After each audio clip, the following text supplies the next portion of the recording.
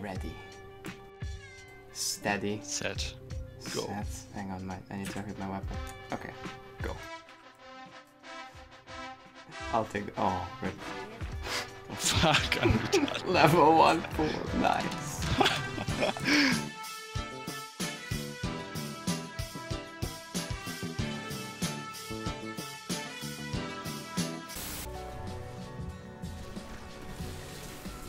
Wow, that's crazy, dude.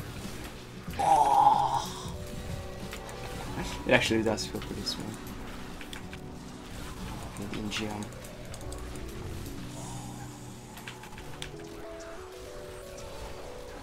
You have reached level 26. Congratulations. So yeah, tell us your review of the Necromancer. Yeah, it's a strong class. It's very good for solo greater rifting. Oh, okay. Yeah. Um, hey folks, you have reached level 32. So in this video I'm gonna showcase the strength of the Necromancer. It's a really good boss killer.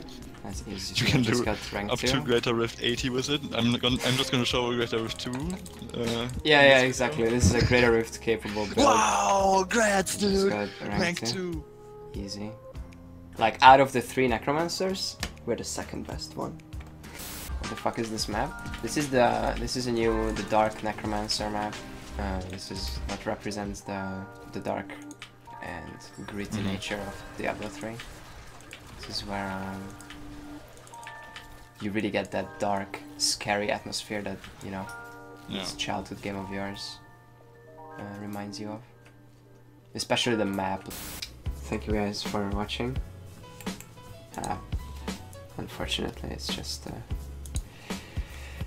It's too overwhelming. It's just too much stuff to learn at the, at the same time, and uh, I just I need some time to uh, to read up on all the stuff and like what's good, what to use on this new class, and how I'm gonna make use of my two new stash tabs and the two new character slots. So I'm gonna think about that, and I'm gonna be back to uh, streaming Path of Exile tomorrow.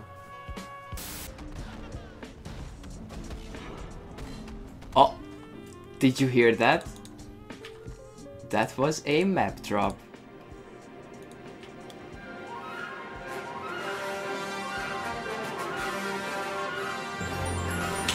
SSF Hardcore map drop, and it's actually the best one.